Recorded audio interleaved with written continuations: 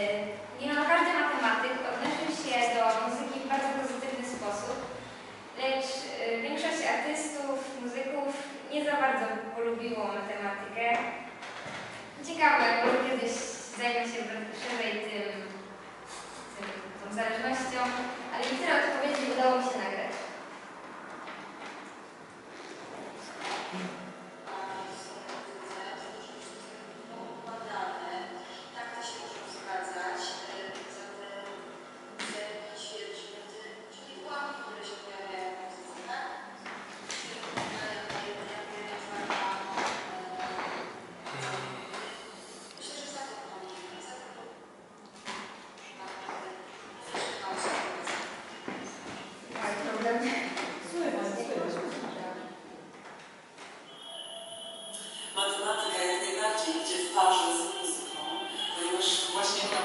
i pomaga uchwycić e, ten cały artystyczny polot, pewien schemat. No A schemat to nic innego jak nuty, czyli wartości rytmiczne, czyli tak zwana muzyczna matematyka.